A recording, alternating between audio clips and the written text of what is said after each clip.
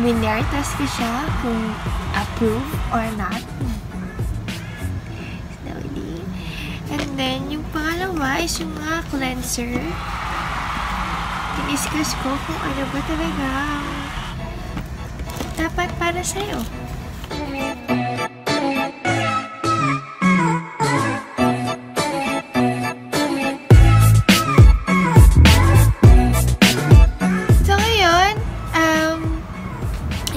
test natin si Snowdy.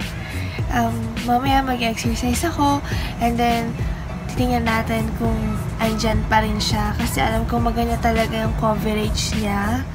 So, i-apply ko sa face ko.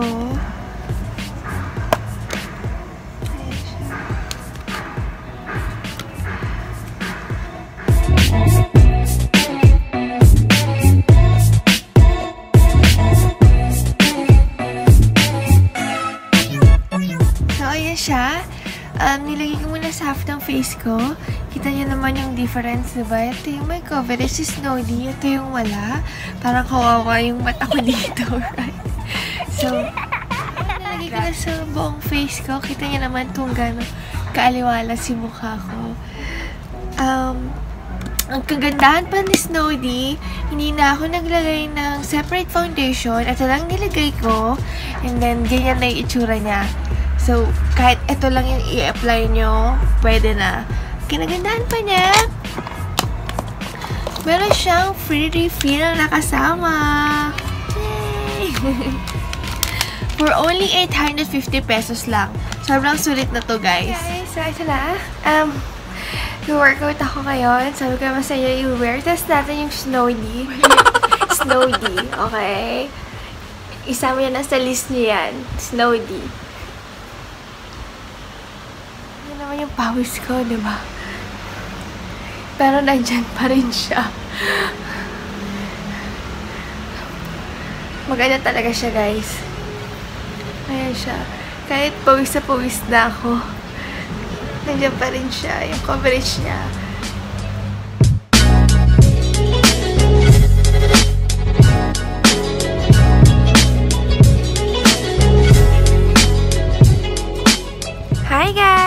Good morning!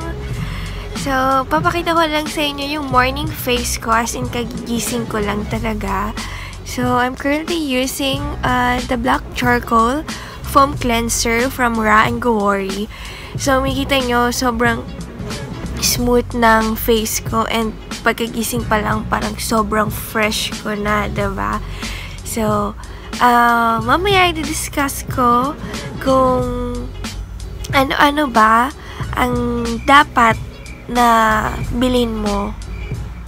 Meron akong apat na cleansers from Ra and Gowori. So, sikat na sikat sila.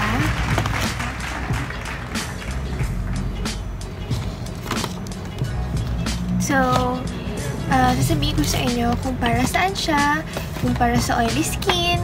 Uh, iba-iba kasi yung um, ginagawa niya sa face mo. Hindi porket uh, ito yung ginagamit ko, yun na rin gagawin mo. Kasi may iba-iba tayong uri ng skin type. So, yung first, itong charcoal foam cleanser. So, itong charcoal foam cleanser, ito yung favorite ko kasi um, syempre hindi naman perfect yung skin ko. May blackheads ako and whiteheads. So, ito, nagagawa niya, kiniklear niya yung mga blackheads and whiteheads ko and hindi siya nakaka-dry ng skin. So, talagang um, yung skin mo magiging maaliwalas tingnan. So, kung ito yung, kung yun ang problema nyo, ito ang kunin nyo. Charcoal Foam Cleanser. Hi! So, ito, ito naman yung sunod. A Red Ginseng Foam Cleanser. Maganda to kasi may anti-aging ingredient siya. May propolis din. May aloe vera.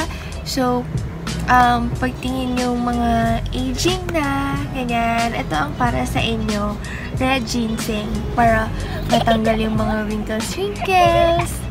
So, to help your skin to be blemish-free, um, nakaka-lighten din siya, nakaka-glow siya ng face.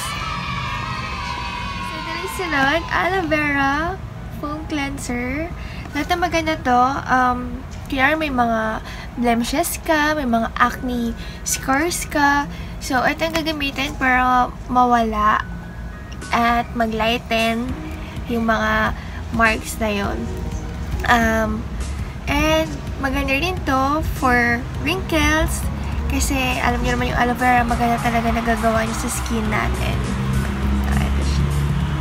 Sa itong white rice foam cleanser, kung gusto niyo magpumuti yung uh, face nyo, mag-lighten yung face nyo, etong kukunin nyo kasi talagang maganda to. Nagagawa niya, ang lakas makaglow. Kunyari, dahil lang yung skin mo, ganyan.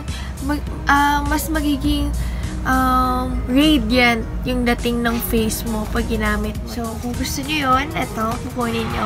White rice foam cleanser. Cleansers, uh, mabibili nyo siya 390 pesos lamang. Um, 120 ml na siya. Sulit na sulit siya. Um, siguro magagamit nyo siya ng hanggang up to 3 months. Ang kinagandaan pa uh, ng mga products is talagang good for Filipina skin siya. Made for Filipina talaga siya. Kasi syempre pag sa Korea, iba naman yung temperature doon kaysa dito. So, ito talagang finormulate para sa atin. Para sa skin natin. So, a must try siya and good, good, good talaga siya. Itong mga K-Beauty products sa SYL, K-Beauty Enterprise, and Ra and Gory. So, may IG sila. Um, ilalagay ko sa description box kung saan nyo mahanap itong mga magagandang products na to. Okay?